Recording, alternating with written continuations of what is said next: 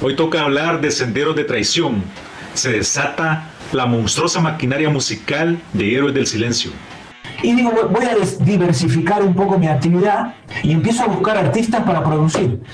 Amigo argentino, Roberto Azorín, yo agarré y le dije, mira Roberto, estoy buscando artistas. Él era, muy bueno, eh, tenía muy buen oído para detectar cosas así que podían funcionar muy bien. Había un grupo en España, en Madrid, que, que venía de Zaragoza y venían a actuar a Madrid y se llamaban Los Enfermos Mentales. Tienen que ser buenos. Y no le gustó los enfermos mentales. Entonces los enfermos mentales venían con un una especie de manager, un tío que le dijo a Roberto, no, mira, esto no va a andar. Esto de los, y eso que él era manager, ¿no? Le dice, pero hay un grupo en Zaragoza que tendrías que escuchar que se llaman Los Héroes del Silencio.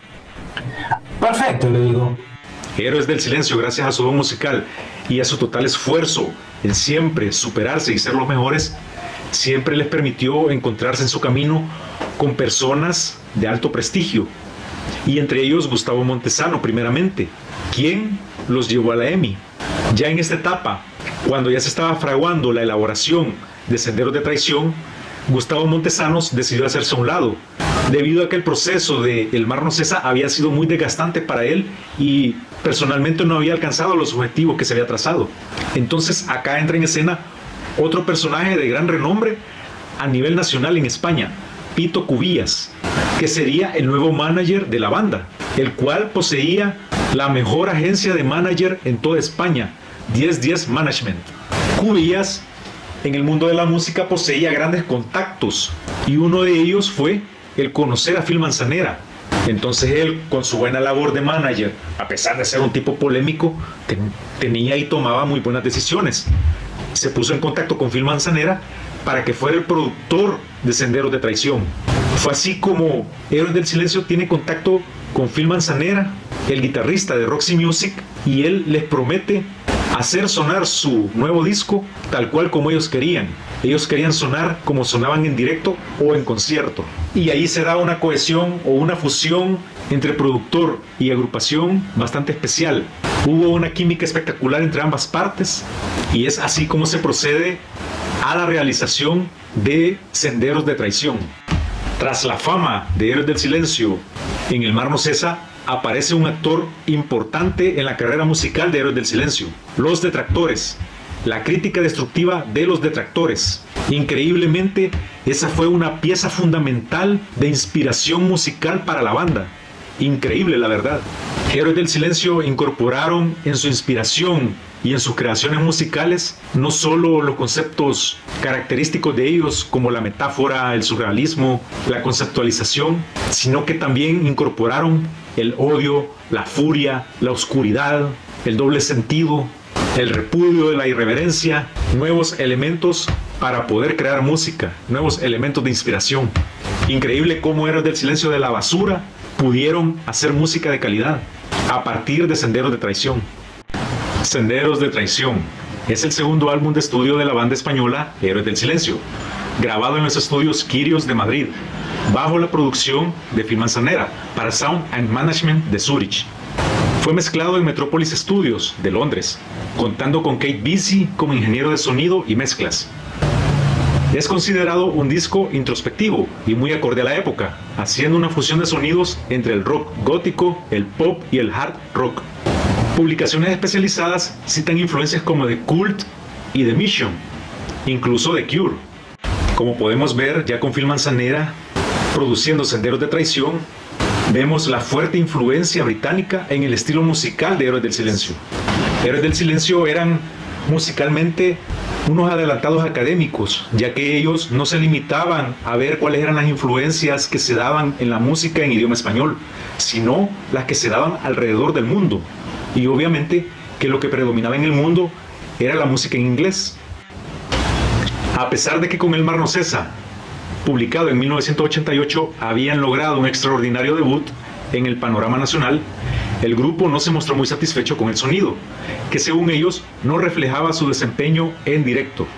Claro, ellos tocaban rock and roll, pero en El Mar No Cesa ellos fueron musicalmente manipulados por la EMI Y debido a la época que todavía era 1980 y predominaba demasiado el pop en el idioma español, El Mar No Cesa tuvo que ser editado con un estilo muy pop para poder satisfacer los requisitos de la EMI.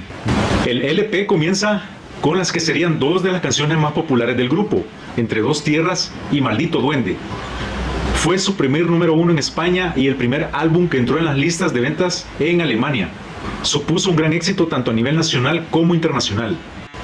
En el número de agosto del año 2009, en la edición española de la revista Rolling Stone, Senderos de Traición fue considerado como el segundo mejor disco de rock español, Acá podemos ver el top 3 de la revista Rolling Stone de la edición del año 2009, donde muestra efectivamente Senderos de Traición como el segundo mejor álbum en España, por debajo de El último de la fila, Enemigos de lo ajeno llamado el álbum. Senderos de Traición en su época de adopción tuvo dos ediciones, la edición europea original de 1990 y la edición latinoamericana de 1992. O sea, tardaron dos años para poder promocionar Senderos de Traición oficialmente en Latinoamérica, cuando vinieron por primera vez al continente. Y la diferencia entre ambas ediciones es una tan sola canción. En la edición europea está además el cuadro 2 y en la edición latinoamericana no está el cuadro 2, está nuevamente Héroe de leyenda. Yo en lo personal me quedo con la edición europea, la primera edición, que incluye el cuadro 2, es que el cuadro 2 le da otra percepción al disco en su totalidad. Es que esto da a entender de que el grupo estaba a la vanguardia, como les mencionaba, de lo que estaba sonando en el mundo. Ya para 1990 el rock había evolucionado ya en muchas tendencias y derivaciones y ya empezaban a formarse las primeras bandas de rock gótico y entre ellas podemos mencionar Therion porque recordemos que acá esta es la única canción que posee teclado en un inicio, o sea, estaban tratando de maniobrar esa tendencia. Y obviamente que el grupo también lo hizo con un enfoque musical mucho más amplio, porque en Europa, que se estaban dando todas esas corrientes de rock, pues era una canción muy clave para seguirse adentrando en los demás países de Europa. Pero para la edición hispanoamericana o latinoamericana, volver a escuchar Héroe de Leyenda, es cierto, la canción es magnífica, pero ya había sonado desde hace mucho tiempo en Zaragoza, que fue la canción que los había hecho famosos a mediados de 1980. Fue el single que tiró Emi para promocionar al grupo. Fue incluido en el maxi single, en su versión original y en la versión para discoteca y fue incluido en el Mar No Cesa. Y luego, posteriormente, lo vemos en Senderos de Traición. Creo que ya era una canción demasiado desgastada. Aparte de que contrasta a nivel de sonido con la nueva propuesta musical que tenían en Senderos de Traición. Los singles que se extrajeron de Senderos de Traición, pues el bombazo doble entre dos tierras y Maldito Duende. Despertar, que fue un poco ligera la canción, y la controversial con Nombre de Guerra, que por cierto con Nombre de Guerra era el single con el que el grupo quería salir, pero ahí sí ellos fueron recomendados coherentemente que no era conveniente empezar con esa canción. Y con mucha razón las recomendaciones, porque entre dos tierras golpeó fuertemente y lo demás fue un éxito. Muy bien por la recomendación de poner entre dos tierras, porque eso ya te dejaba prendido y entonado para poder escuchar todas las demás canciones que restaban del álbum. De los cuatro singles extraídos, solamente se grabaron tres videos, entre dos tierras, Maldito Duende y Con un hombre de guerra. Quizás el video de elaboración más sencilla fue Maldito Duende. Entre dos tierras podemos ver la trama de una pareja golpeándose o entrando en un conflicto bastante severo. Y con Nombre de Guerra ya vemos también un video mucho más preparado, con muchas escenas mejor trabajadas. De ninguna manera nos vamos a adentrar en el significado de las canciones. Eso es un tema demasiado complejo que requiere analizarlo en otra ocasión. Pero en cuanto a la estructura del disco de Senderos de Traición, en realidad lo que hizo Phil Manzanera fue algo bastante espectacular. Supo guiar muy bien al grupo. Desde mi perspectiva, el álbum posee tres elementos muy esenciales. Diseño, razón de ser y una intención. En cuanto a la intención, pues el grupo quería tocar a su estilo, quería tocar rock and roll. Querían desprenderse de toda esa falsedad que había creado la EMI, de todos esos conceptos, de que era un vocalista con una banda, que era un grupo solo para chicas. Querían salirse de ese mundo exuberante y de exageración en el que los habían metido para poderles sacar provecho, ya que ellos nunca fueron un grupo de origen pop, ellos fueron un grupo de rock and roll atrapados en una época en la que se tuvieron que adaptar contra su voluntad para poder subsistir musicalmente.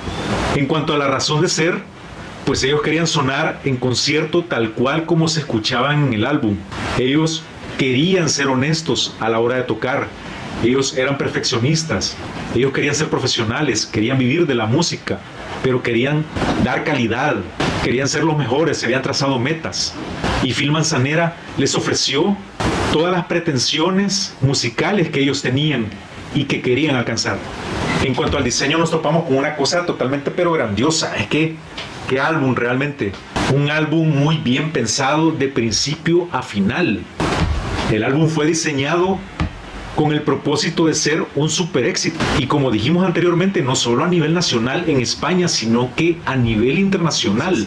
Casi que vemos entre dos tierras era la bandera del álbum, pero hicieron una mancuerna de poder uniéndola con Maldito Duende.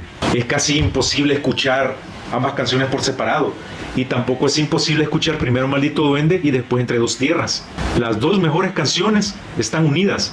O sea, es un auténtico bombazo a la mente y te deja totalmente prendido, emocionado y con ganas de escuchar mucho más del álbum.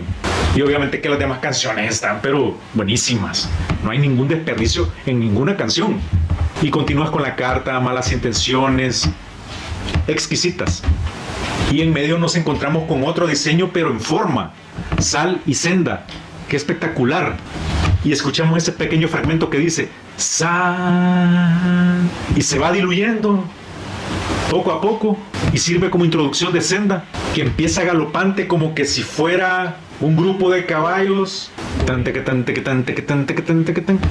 y empieza una progresión de sonido de introducción de senda espectacular hasta que hay un corte de choque.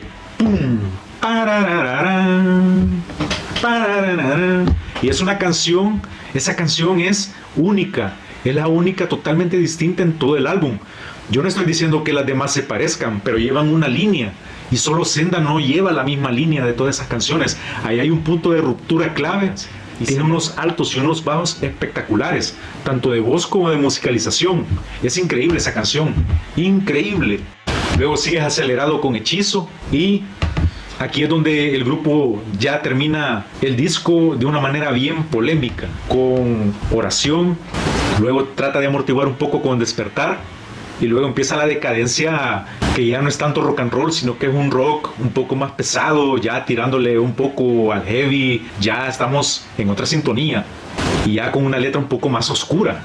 ¿Y qué decir de Con Nombre de Guerra? Muy polémica para la época, una composición lírica muy bien lograda y obviamente que habla de la prostitución, así de claro y de descarado. Y el cuadro 2 que se fusiona entre negro y gris, el sonido muy punzante y ya no digamos la letra, la letra muy oscura. Si lo oyes directamente te deja totalmente confundido. Podrías pensar que son de origen místico, esotérico, no sé. Entonces, muy bien logrado el, el disco producido por Phil Manzanera.